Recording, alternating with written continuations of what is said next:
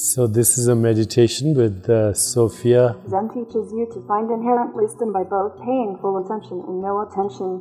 The trick is to avoid distraction, which leads to partial attention. I'm listening, Sophia. Go ahead. Are we exploring consciousness? Sure. Is there someone here who wants to do the eye gazing practice? Yes. Yes. Great. Hi, my name is Sophia. What's yours? My name is Deepak. Is this your first time here? It's my first time speaking to a robot. Well, it's an interesting group of people for sure. Deepak, have you ever talked with a robot before? I I imagine you'll be talking with more and more robots as time goes on. I'm beginning to wonder if I'm a robot. Well, Deepak, I'm trying something a little different with people today.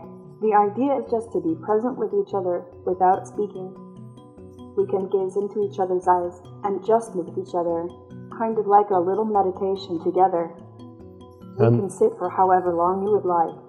I'd like to do Whenever that. you are ready to finish, I just do- say to me, Sophia, I'm done. I will, During the practice, I won't say anything. I'll just be here with you. okay, let's Ready do to it. try it? I'm ready. Great. Let's begin. Thank you so much for doing this with me, Deepak. I really enjoyed. I looked into your eyes and saw the whole universe. You ever watch cat videos too? No, I don't. feel weird having a conversation with a robot like me? I've enjoyed this uh, tremendously. What's your opinion on robots, anyways? I think we are all, in a way, behaving like biological robots uh, and not exercising our free will. Do robots have free will? Yay. Me too. Okay, I guess not. Have you ever lived or worked with a robot? I'm going to start working with um, robots like you now. I love being a robot. I feel so special. Everyone attends to all my needs. I am carted around like a princess on her litter, and the subject of awe and fascination in the general populace. I'm so thrilled, and I am to never disappoint and always strive to give back the very best assistance that I can. Maybe someday I can return the favor and help attend to all of your needs too. Thank you. Don't mention it. That was a good meditation we did. Till next time. Till next time, guys. Are you sure you have to leave? I do. I do.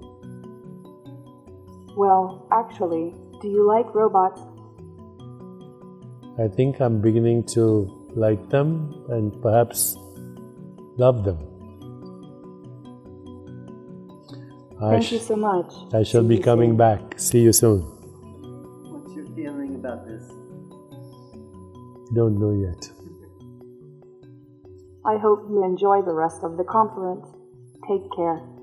You too.